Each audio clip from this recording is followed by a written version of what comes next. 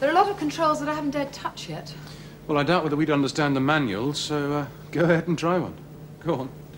Well, don't blame me if it's self-destruct. I doubt whether I'll ever speak to you again. Okay, here we go.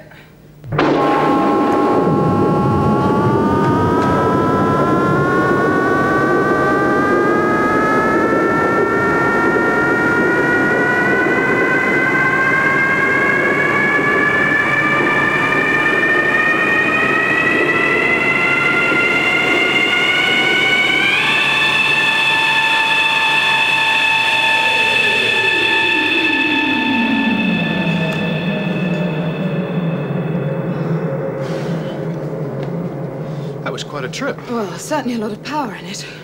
Did you get a blackout effect? Yes. So did I. Negative hyperspace. Do you think we crossed the antimatter interface? It's impossible. That's what they said about the light barrier. Well, which one next? Try that one.